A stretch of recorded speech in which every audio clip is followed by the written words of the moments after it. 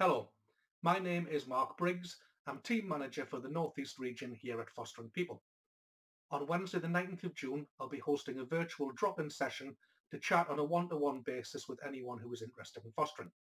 I can tell you more about foster care, about fostering people, how the assessment process works, and also hopefully answer any other fostering related questions that you may have.